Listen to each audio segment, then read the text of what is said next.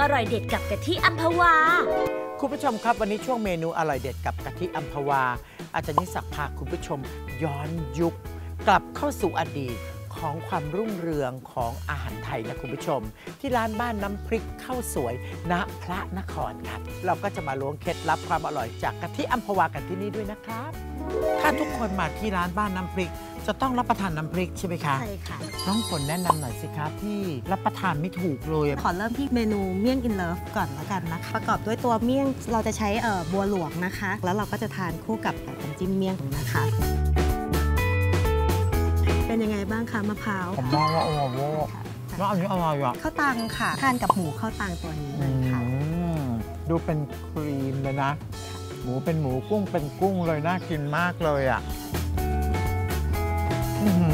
อค่ะขออีกทีได้ไหมได้นี่เลยค่ะฉันแปลกใจทำไมน้ำอะไรที่ใส่หมูหมูอะไรของเธอเนี่ยค่ะมันเนียนน่ากินน่ากินแล้วมันก็มันหอมมาก มมันใช่ไหมอื้อคะหือาจารย์อคะกรอบกรวบหอมอร่อย แต่เออน้องคะค่ะ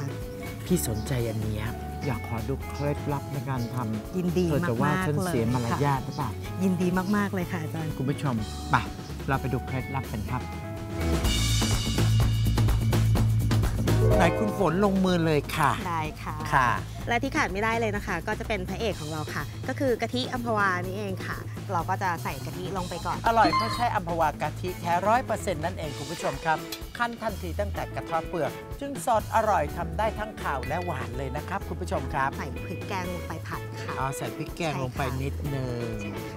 ค่ะคุณผู้ชมดูนะครับ คุณสมบัติของกะทิที่ดี จะต้องมีสีขาวนวลๆเป็นธรรมชาติน้ำเมื่อกี้เทลงไปแล้ว คุณผู้ชมก็เห็นนะครับ แล้วก็กลิ่นเนี่ยยืนอยู่ตรงเนี้ยนะ ผสมกับเครื่องแกงเรารู้เลยคุณผู้ชมว่า เป็นกลิ่นหอมของกะทิแบบมะพร้าวอ่อนๆนะคุณผู้ชมครับ เหมือนเราคั้นสดๆนะคุณผู้ชมข้นกำลังดี ไม่ใสเกินแล้วก็ไม่ข้นเกินไปครับนะผัดไปเรื่อยค่ะจากนั้นนะคะเราก็ค่ะจะใส่เริ่อะไรมใส่อีกหอมแดงๆใส่หอมลงไปอุ้ยนี่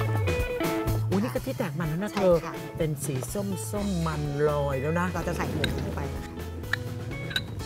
ะค่อยๆ เติมน้ำกะทิลงไปนะคะลงไปทีละน้อยทีละน้อยนะค่ะแล้วก็ผัดไปเรื่อยค่ะถ้าเกิดเรารู้สึกว่าเข้มข้นเกินไปนะคะ ๆ ค่ะ เราจะใส่น้ำซุปลงไปด้วย ใส่นิดหน่อยใช่มันก็จะได้เกิดความหวานหวานๆเดี๋ยวจากนั้นเราจะใส่เอ่อถั่ว ถั่วลิสงคั่วใส่ลงไปเลย ใส่เกลือนิดนึงใส่เกลือนะไปก่อน อุ้ยน่ากิน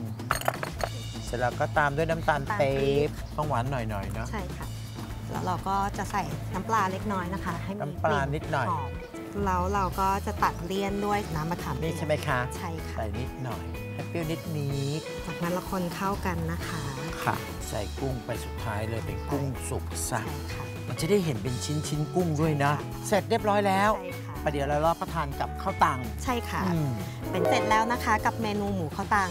ลูกค้าติดใจเพราะว่าเราใช้กะทิอัมพวา ใช้แล้วอาหารอร่อยกลมกล่อมหอมมันค่ะ อย่าลืมนะครับกระเทียมพวาสดจริงอร่อยจริง แตกต่างด้วยคุณภาพ ความสดที่คุณพิสูจน์ได้นะครับ และที่สำคัญคุณผู้ชมครับ อร่อยได้ทั้งข้าวหวานนะ วันนี้ต้องขอขอบคุณน้องฝน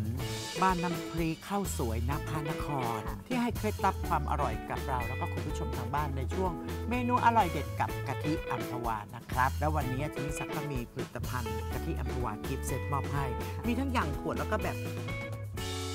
กล่องแบบใหม่มอบให้ด้วย น้องฝนช่วยเอามือจับรับและยิ้มหน่อยได้ไหมคะได้ยิ้มค่ะและสัปดาห์หน้าเจะนี่สัจจะพาคุณผู้ชมไปอร่อยที่ร้านไหนคุณผู้ชมต้องติดตามชมนะครับ